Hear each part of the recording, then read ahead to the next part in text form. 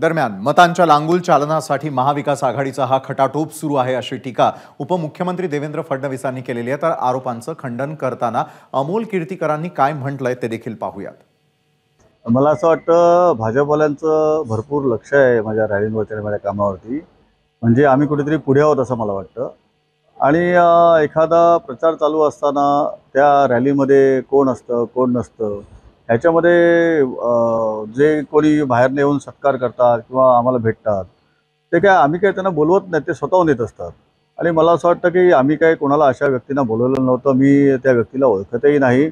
आणि मला असं वाटतं की एवढंच जर का लक्ष त्यांनी ठेवलं असतं म्हणजे ज्यांनी कोणी ट्विट केलं त्यांनी गेल्या गेल्या दहा वर्षामध्ये आपण लोकांना काय कमिटमेंट केल्या होत्या त्या कमिटमेंट पूर्ण झाल्यात की नाही झाल्या आहेत त्या झाल्या नसतील तर आता लोकांना उत्तर द्यायची नाहीत त्यांना. म्हणून अशा पद्धतीचं वातावरण त्या ठिकाणी तयार करण्याचं काम भाजपवाल्यांच्या माध्यमातून त्या ठिकाणी चालू आहे असं मला वाटतं.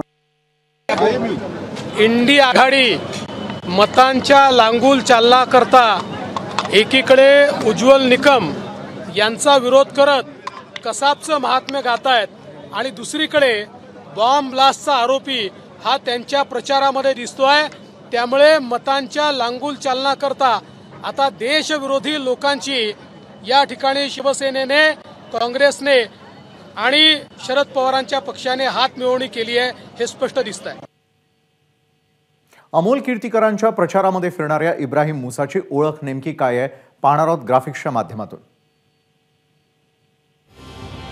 इब्राहिम मुसा उर्फ बाबा चौहान अशी ओळख. नातेवाईकाच्या मदतीनं दाऊदचा भाऊ अनिशशी संपर्क. इब्राहिम मुसाची अबू सालेमशीही ओळख असल्याची माहिती. अभिनेता संजय दत्तला ए के फिफ्टी सिक्स आणि हँड ग्रेनेड दिल्याचा आरोप. संजय दत्तला शस्त्र देण्यासाठी गेलेल्या अबू सालेमला मदत. मुसाच्या चौकशीनंतर पोलिसांकडून शस्त्र जप्त. मुंबईमधल्या आरोप सिद्ध झाल्यानंतर दहा वर्षांची शिक्षा आणि दोन लाख सत्याहत्तर हजारांचा दंड. शिक्षेच्या सुनावणीपूर्वी सहा वर्षांचा कारावास पूर्ण. दोन हजार सातमध्ये शिक्षा सुनावल्यानंतर उर्वरित चार वर्षांची शिक्षा. सध्या ड्रायव्हिंग स्कूल चालवत असल्याची माहिती.